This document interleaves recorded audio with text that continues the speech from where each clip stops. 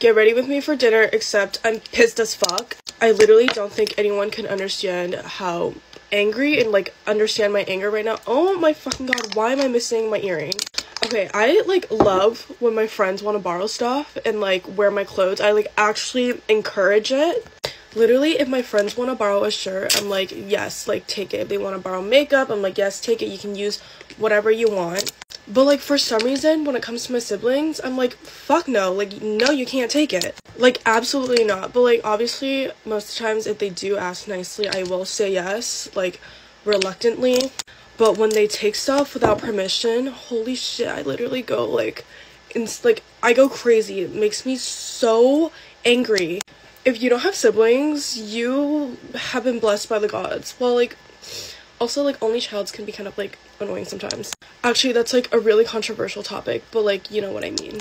But bro, when they take shit without like Okay, ignore the fact that I literally just shrunk, but I can't open my drawers when my chair is like too high up. So I was literally just thinking of a shirt that I used to wear all summer last summer, uh, last year, and it's just like gone and I literally will not rest until I find that top. So I went to my sister's room and guess where it was? It was in her closet. Okay, that was my little tantrum. Oh my god, I fucking hate being this short. It looks so weird on camera. There's like so much room above my head. Um, but, ooh, on top of that, I have to pack for my trip tomorrow. And I just got back from a trip yesterday. So my suitcase is still like packed. So I'm trying to find the most like efficient way to pack without having to like unpack everything, but I'm so fucking excited for this trip. So excited to take you guys with me and bring my best friend with me, so it's gonna be so much fun. But on top of that, my room's like a disaster. Okay, pause. I got this in the mail yesterday, and I've been wanting to try. Oh my god, I just I can't open stuff properly. I've been wanting to try this forever. This is the Caliray. I don't know if I said that right. Sunproof setting spray, and yeah, it just looks really refreshing. Hmm smells really good. I'm just not used to like such fine setting sprays because all my setting sprays are usually like super harsh on my face. Anyways, back to my room. I'm gonna show you guys what it looks like in a sat in a what? Okay, room reveal. I literally showed this in my get ready me this morning. Okay, what? It doesn't look that bad on camera. It's so bad in person. But it's actually so annoying, like having to clean your room when nothing like fits in it. This is my sign to stop purchasing things.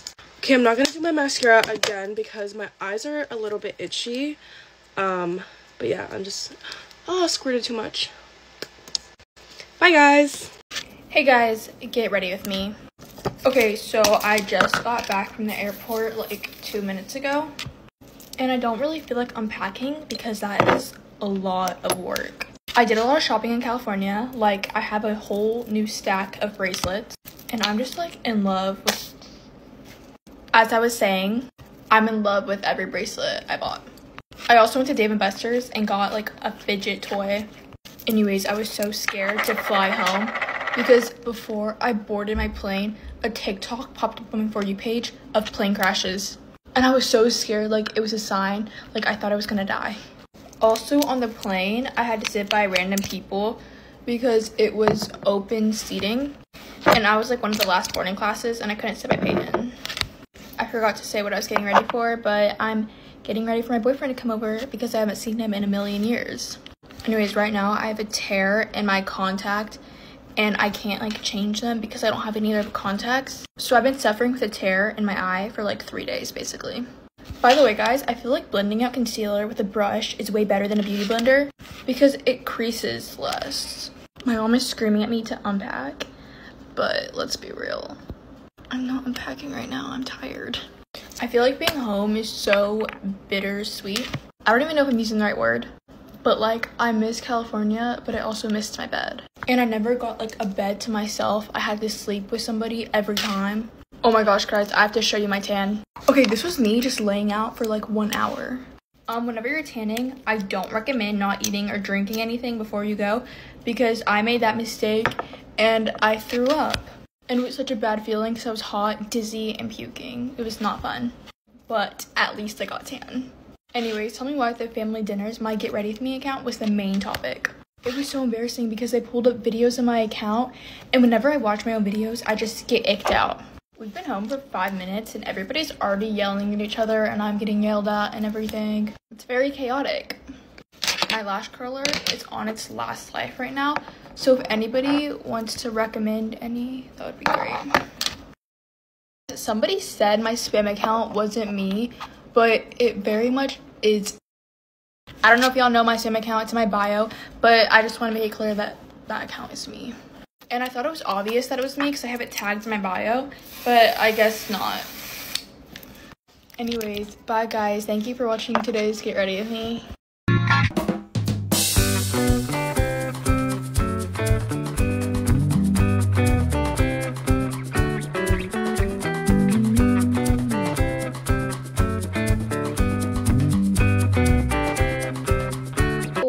Don't really have anything on except work from 9 to 1 and that's about it. Since I had quite a few full-on days recently, I'm just going to use this as like my Sunday reset day.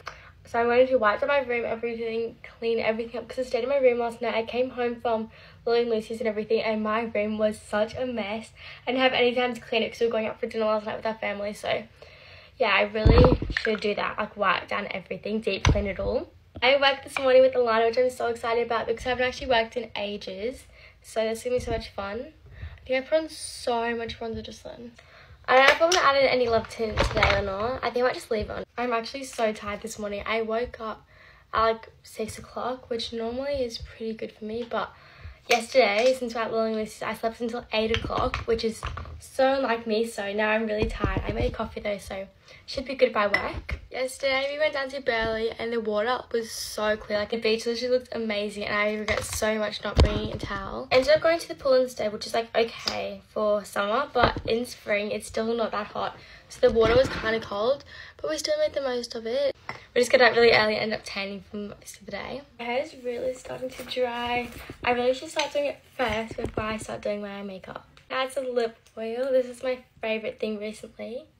Hope you all have an amazing day. Bye everyone. Morning guys, get ready me for the day. I went to summertime ball last night. I had the best time ever, but like it is hitting me this morning. Oh my gosh. Still can't believe that I was literally in the room with Sabrina Carpenter, Raye, Ella Henderson, Meghan Trainor, H, I don't know, David Guetta, everyone last night. Like, oh my god, it was the best time ever. I only got my tickets on Saturday as well, so I was like even more excited because it was such a last minute plan, but I knew I wanted to go because of the amazing lineup. I got standing tickets and I've never really stood for many things before and I thought I was gonna like die because of my legs but I was actually fine. We pushed our way to the front of the standing right. I could literally see them like oh my god we were so close. It was really really good. Guys when I tell you I was literally crying when Sabrina came on like she was amazing and David Guetta was the last act and oh my gosh it was just so good. He was probably one of my favourites because it was just like a massive rave. Guys also if my eye looks really sore uh, mosquito mosquito flew in it this morning and it was it literally blew up. Like I was like are you kidding me? A mosquito just flown in my eye.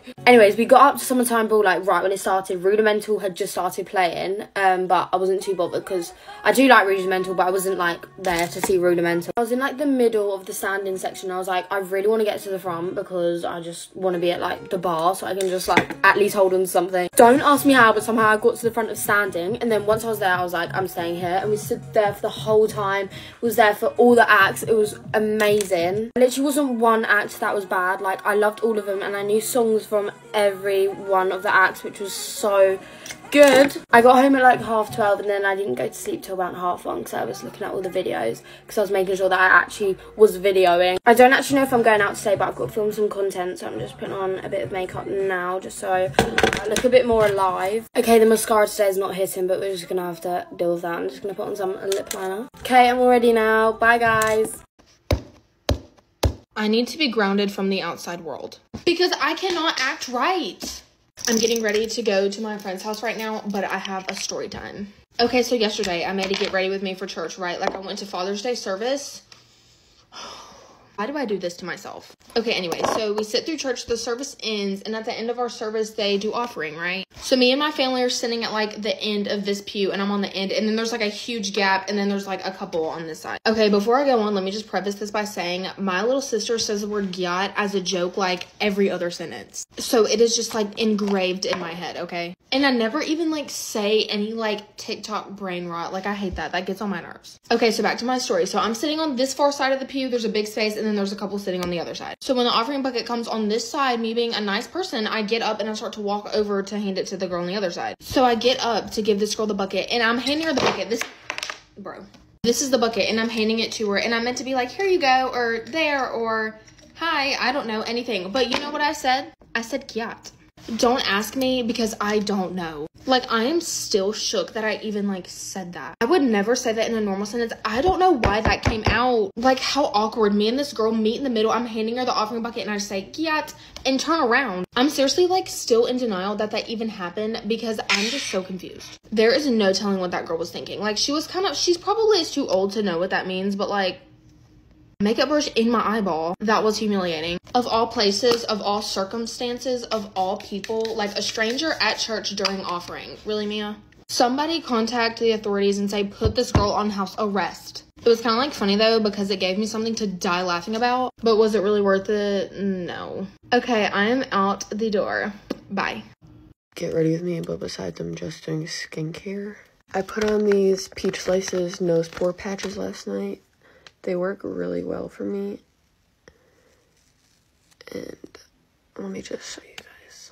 Um, for reference, these are normally clear and you see all that gunk.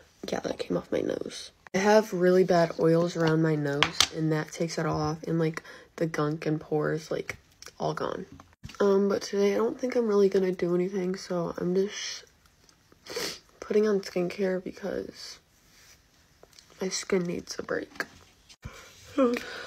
Still really tired though. I might go on a walk and go play pickleball today, but that's about it. I love when there's days that you don't have anything planned and you just like can relax and don't have to worry about anything. It's so nice. Um, and this is what I slept in, and I'm just gonna stay in this for now because I feel like it. But that's it. Bye, guys. I love you. Done a get ready with me in so long. I've been loving doing the cooking content, but I'm excited to just like come back and talk to you guys. Also gonna address two things. First thing, yes, I'm using sunglasses as a headband because I can't find clips. And yes, I'm having an insane skin breakout right now, as you guys can see. Literally within 48 hours, my skin went from pretty much clear to an eruption of God knows what. I've been really trying hard to not get down on myself about it because I know everybody goes through stuff like this. And I also know it's just temporary. It's kind of just figuring out what's going on and how to fix it. Ever since I graduated, I've really been trying to heal my gut. And I've been taking a lot of probiotics and prebiotics and I've been eating that coconut cold yogurt and I really have seen it such a difference in my gut health. But along with that can come a purge. And this is basically exactly what my skin looked like when I first went on tretinoin and I had a tretinoin purge. So I'm going back to my dermatologist to see if there's anything else that I should be worried about or any other way to go about this, but I'm hoping that's just what it is and it'll kind of go away as my body regulates.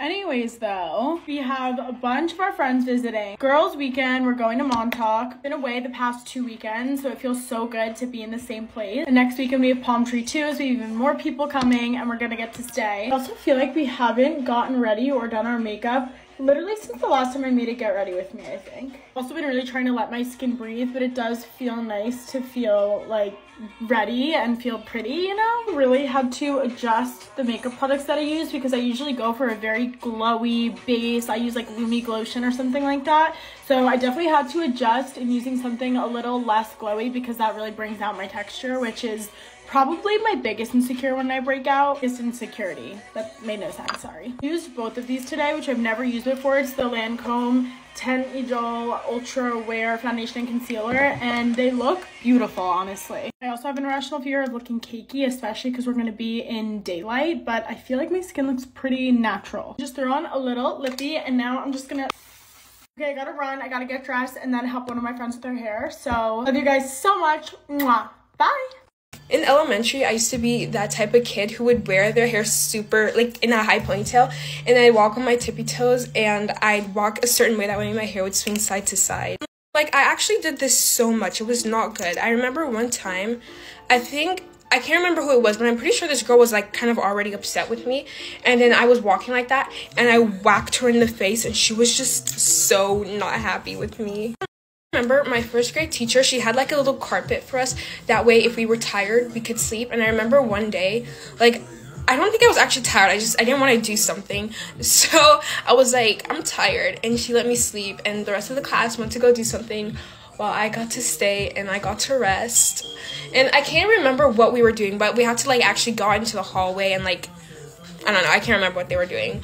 But I didn't have to do it because I pretended that I was sleepy. And then I just like closed my eyes because I actually wanted to try and fall asleep because I felt like I I don't know like I don't know if I was tired or not I can't really remember the details because this was first grade but I just remember I did not fall asleep and the main reason for me like telling her I was sleepy was just because I didn't want to do whatever we were doing. The second grade teacher was so evil. I don't really think I've ever had like another teacher as evil as her. I remember one time she got so mad at us and she was about to tell us to shut up. And like we were in second grade. I think this lady she was just a cranky person. I don't know.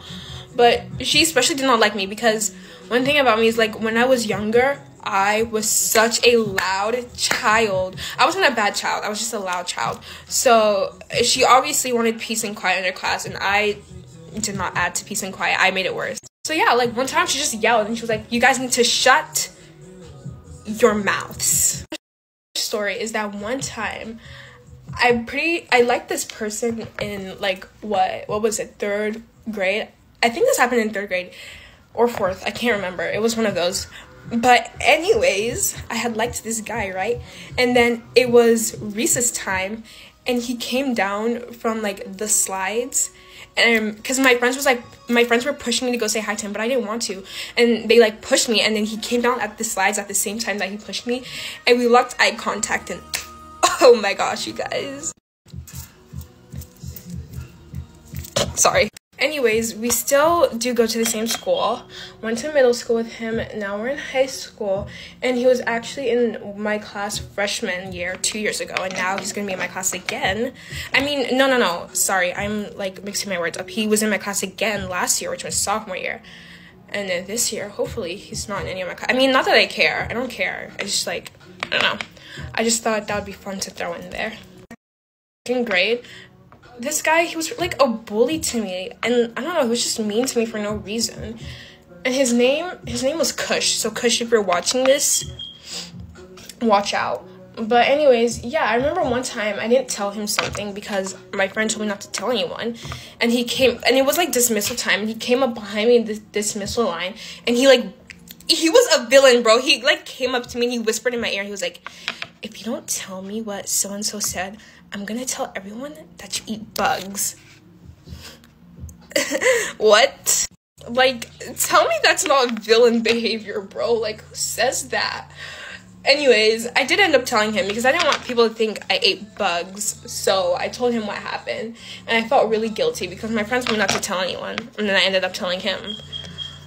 But I don't even think the secret was like that serious now that I'm like, I don't remember what it was, but I just, I don't think it was that serious. We we're in second grade, like, it's not gonna be that serious. Also in second grade, like before I actually like the school year started, we had this. It wasn't an orientation, but you got to like walk your classes. Go. It was meet the teacher. Oh my gosh, I remember. It was meet the teacher. We had to meet the teacher, right?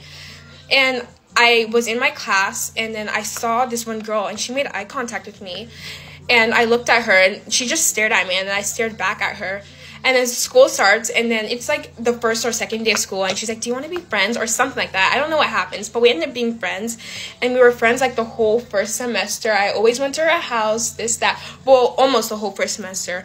Until a new girl comes to her class, and let's just say her name is, um, Maggie. We'll say her name's Maggie. It was close to Maggie. It wasn't Maggie, but it was close to Maggie. Anyways, new girl Maggie comes in, and then her and my OG friend, we'll call her oh, I was about to actually say her name. We'll call her Mary.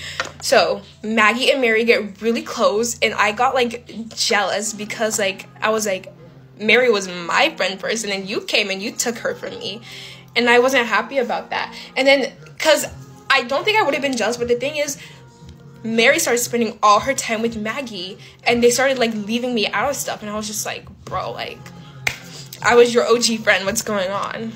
Anyways, I think that Maggie was a little crazy, and her and Mary did not end up on good terms. I didn't really care though, because I was moving schools. I was going to move schools like after that school year though. But anyways, like I was looking happy that they didn't because I was like, ha. you should have stayed with me instead of moving on to this girl who just came out of nowhere and then y'all became besties when we were originally besties. Anyways, this the app sesh has gone over its limit, so I'll see y'all in the next video. Bye! what the heck? Okay, bye.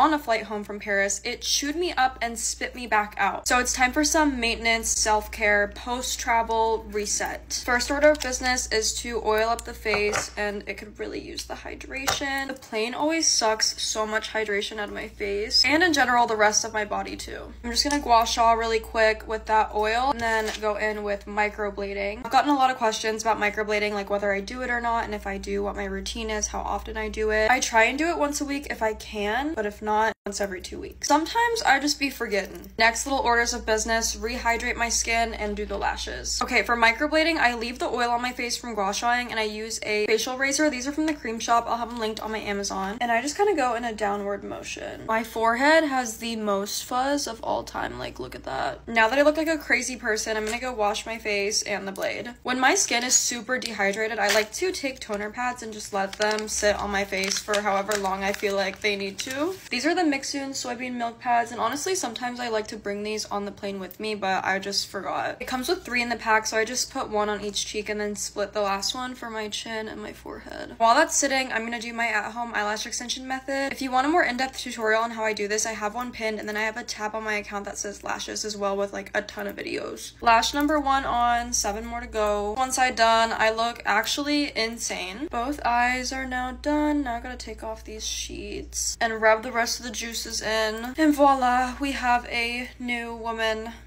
Love you guys. Bye. Get ready for my first ever volleyball camp. We are looking rough. I had like a six hour travel day yesterday. So tired. First thing to say me Lumify. I'm almost out of them. No, I do.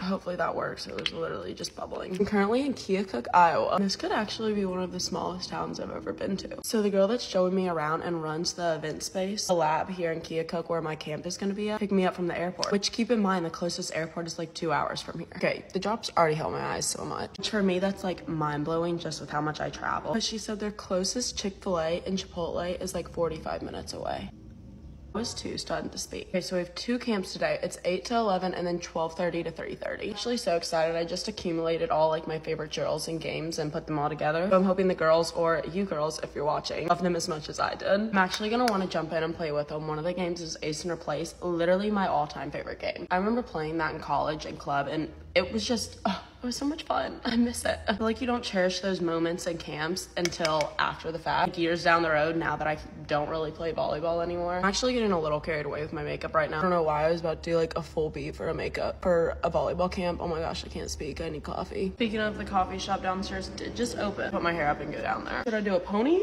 or the business bun. See what the business bun looks like. Bring it back. Wait, this literally, oh my god, just brought me back to college so hard. The business bun. All right, I'm doing pony today. Love these little headbands too. I just feel like they're more healthier for my hair and like don't rip my hair out. Okay, let's go get a coffee. We're back with a coffee. Iced a latte blueberry bagel and cream cheese to fuel this perfect day. A little bit of my favorite gloss right now. Let me show you all the fit. My eyes, oh my gosh. Those Lumify drops are really kicking. Here's the fit. We have their the lab sweatshirt. That's the event place that we're having this at. Leggings, these Adidas shoes, and then I have like a little Lululemon tank on underneath. We're gonna do it the pop-up bagel way in New York. I'm not sure how this will compare to New York bagel, but I also don't think I've ever had a blueberry bagel. I like it. Definitely not a New York bagel though. Okay, see some of you all at camp. Hope everybody has an amazing day. Cheers! Tips on how to talk to men. Well, men scare me, but these are my tips. Rule number one is literally say whatever the fuck you want. I say that because, like, if you like me, like, you like me, I'm not gonna spend all my hours trying to get you to feel some type of way about me, saying whatever, like, you want me to say. I'm also the type of girl that will, like, call you out. Like, if I think you're being weird, I'll be like, stop being a fucking weirdo. And I know a lot of girls aren't like that, but I'm not saying do what I do. It's my personality. Like, I'm Brooke Carlson. Also, do not always be like, what are you up to? I want to see you. Like, if he really wants to see you, trust me, girl, like, he's gonna initiate plans with you. And if he doesn't, then he really doesn't want to see you that much. And if not, just like move on. I promise you, you'll find someone who wants to see you that much. Because the right person will always make time for you. Another tip that I have is like, get them to talk about themselves. You do not want to be the only one talking, I promise you. Because, like, if you're the only one talking, it's kind of weird. And men love to talk about themselves. But, like, you know, keep like a good balance in the conversation. Thank ya.